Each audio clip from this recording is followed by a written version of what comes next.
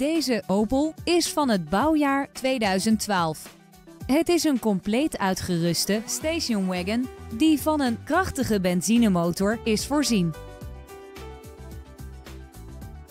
In deze ruime Opel vindt u onder meer cruise control, een audionavigatiesysteem en elektrisch verstelde en verwarmde buitenspiegels. Als speciale veiligheidsfeatures heeft deze Opel bovendien ESP en gordijnairbags voor. Tevens wordt deze auto geleverd met Nationale Autopas.